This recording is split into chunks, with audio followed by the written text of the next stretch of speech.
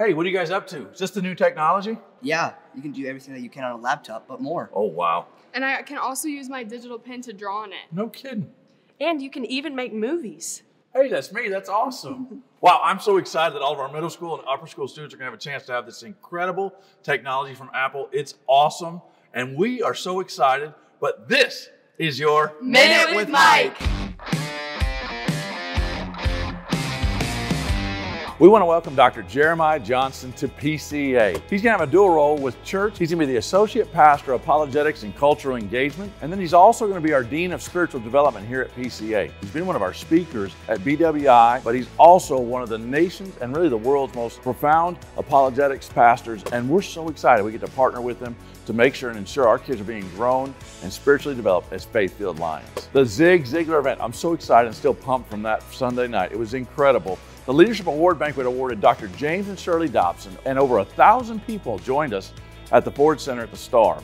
We raised over $2 million, and all of those proceeds will go directly to benefit Sponsor a Child, PCA's tuition assistance program, and we want to thank every single one of you who are a part of that special event. The King's Academy Spring Partner Day is Thursday, May 12th. We want to give a special shout out to all the partners and volunteers who help us make this event so special and help our kids out. The National Day of Prayer is Thursday, May 5th, and Prestonwood Baptist Church will host a special time of prayer in the chapel at noon. We'd love to invite you to be a part of that.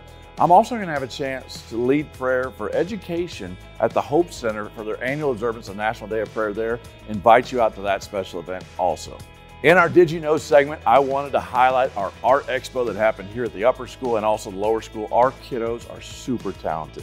But I want to give a special shout out to our senior, Libby Dasku. She won this invitational award at top award selected by faculty from the Young American Talent.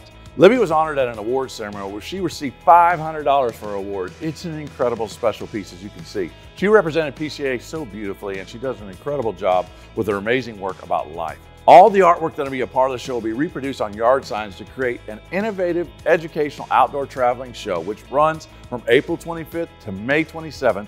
And this exhibition will be used and displayed all over the DFW area. So keep an eye out and congratulations to Libby. At the end of December, Pastor Graham and his incredible wife Deb are leading a trip to Israel. I am super excited about this because I get to go for the first time with my wife Dina to Israel, and we'd love for you to join us if you can. Now, there's an informational meeting that's happening this Sunday right after church here on the Plano campus in the Student Ministry Building at 1230. So if you're interested, come out, learn more about it. We'd love for you to join us. We have had a banner spring already, both athletics and musical. The musical was so great. I love the Music Man down here in the Plano campus. Just got done celebrating a bunch of our kids at North.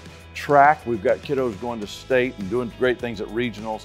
Golf was incredible. We got people going to state. They did a great job at North, as a matter of fact, placing in state as well. We've got baseball that is doing amazing, softball is doing terrific. It's just amazing to see our kids do so many wonderful things in the fine arts, in the athletics, and the different events, and it has been a special time of year. Now, I'm reminded this week of my memory verse, which is out of Romans 14:8, which says, For as we live, we live for Christ. As we die, we die for Christ. So as we live and we die, we do for the Lord.